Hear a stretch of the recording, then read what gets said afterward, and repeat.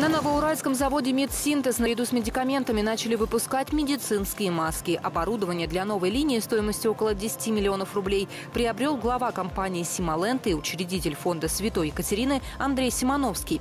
В месяц планируют выпускать больше 5 миллионов масок. Вскоре цифру увеличат до 10 миллионов. В Новоуральске организуют еще одну линию. Такое же оборудование, приобретенное на средства главы РМК Игоря Алтушкина, будет смонтировано и на другом производстве в Челябинской области. Это сделано для того, чтобы ускорить процесс запуска производства масок на Урале и снять их дефицит.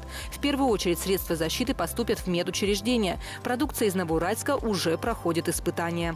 Когда мы создали в, в трубе определенное количество частиц, через э, полчаса мы одеваем для проведения следующего эксперимента маску и производим измерения за маской какое количество частиц прошло через нее.